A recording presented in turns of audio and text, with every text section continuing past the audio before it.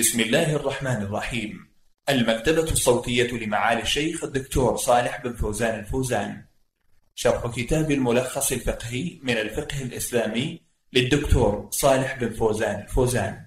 الدرس 199 بسم الله الرحمن الرحيم. الحمد لله وحده والصلاة والسلام على من لا نبي بعده. أيها المستمعون السلام عليكم ورحمة الله وبركاته.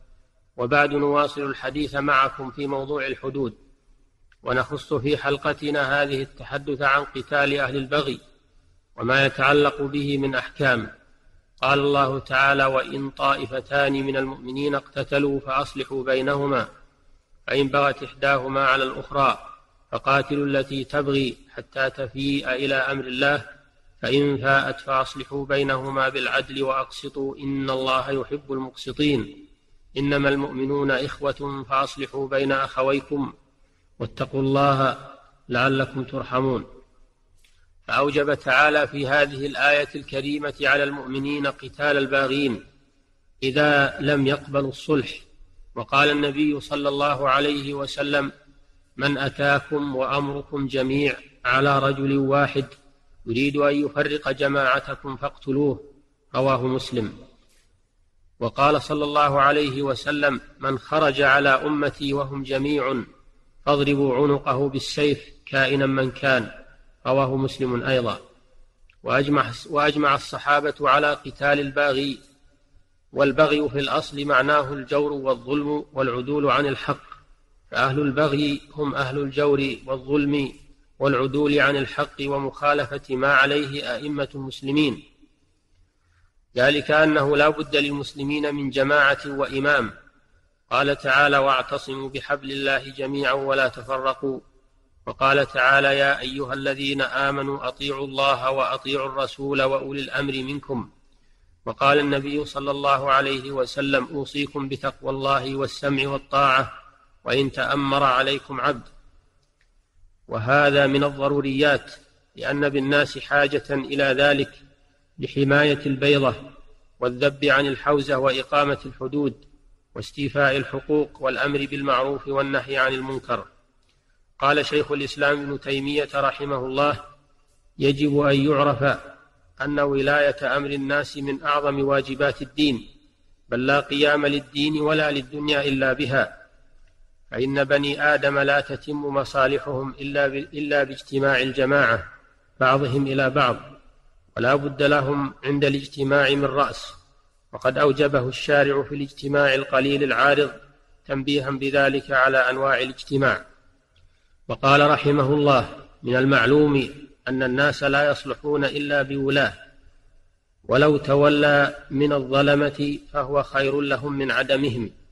كما يقال سنة من إمام جائر خير من ليلة بلا إمارة. انتهى. فإذا خرج على الإمام قوم لهم شوكة ومنعة بتأويل مشتبه يريدون خلعه أو مخالفته وشق عصا الطاعة وتفريق الكلمة فهم بغاة ظلمة.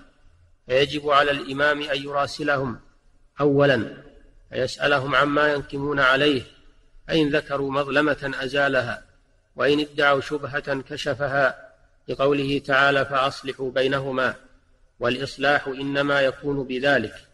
فإن كان ما ينقمون منه مما لا يحل فعله أزاله وإن كان حلالا لكن التبس عليهم فاعتقدوا أنه مخالف للحق بين لهم دليله وأظهر لهم وجهه فإن فاءوا ورجعوا إلى الحق والتزموا الطاعة تركهم وإن لم يرجعوا قاتلهم وجوبا وعلى رعيته معونته لقوله تعالى فقاتلوا التي تبغي حتى تفيء إلى أمر الله فيجب قتالهم حتى يندفع شرهم وتطفأ فتنتهم ويتجنب في قتالهم الأمور التالية.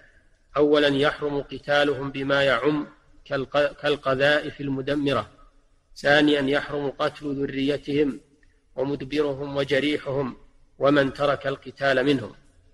ثالثا من أسر منهم حبس وسجن حتى تخمد الفتنة. رابعا لا تغنم أمواله أموالهم. لأنه لأنها كأموال غيرهم من المسلمين لا يجوز اغتنامها لبقاء ملكهم عليها. لكن بعد انقضاء القتال وخمود الفتنة من وجد منهم ماله بيد غيره أخذه وما تلف منه حال الحرب فهو عدر. ومن قتل من الفريقين في الحرب فهو غير فهو غير مضمون.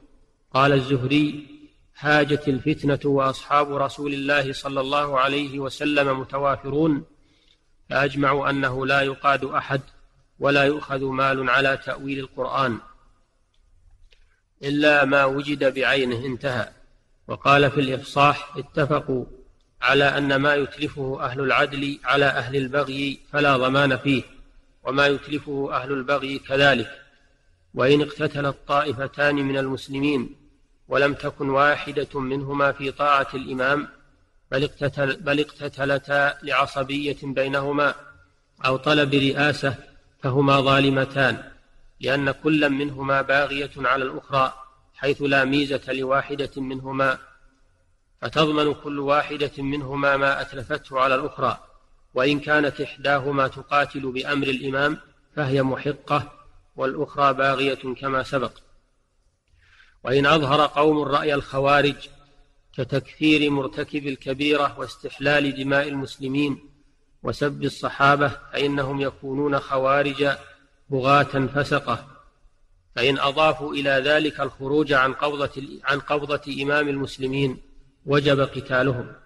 قال شيخ الإسلام ابن تيمية رحمه الله في الخوارج أهل السنة متفقون على أنهم مبتدعة وأنه يجب قتالهم بالنصوص الصحيحة بل قد اتفق الصحابة على قتالهم ولا خلاف بين علماء السنة أنهم يقاتلون مع أئمة العدل.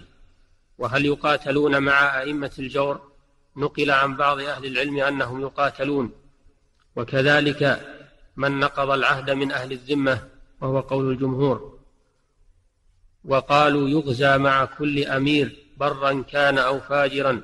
إذا كان الغزو الذي يفعله جائزا فإذا قاتل الكفار أو المرتدين أو ناقض العهد أو الخوارج قتالا مشروعا قوتل معه وإن كان قتالا غير جائز لم يقاتل معه انتهى كلامه. وإن لم يخرج هؤلاء الذين أظهروا رأي الخوارج عن قبضة الإمام ولم يشقوا عصا الطاعة لم يقاتلوا وأجريت عليهم أحكام المسلمين. لكن يجب تعزيرهم والإنكار عليهم وعدم تمكينهم من إظهار رأيهم ونشر بدعتهم بين المسلمين.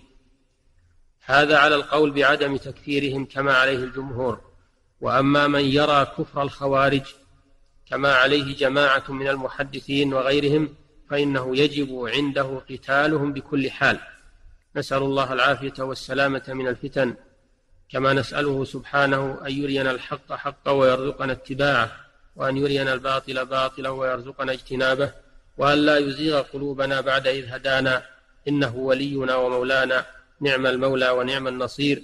الحمد لله رب العالمين والصلاة والسلام على نبينا محمد وآله وصحبه أجمعين. وإلى الحلقة القادمة بإذن الله. السلام عليكم ورحمة الله وبركاته.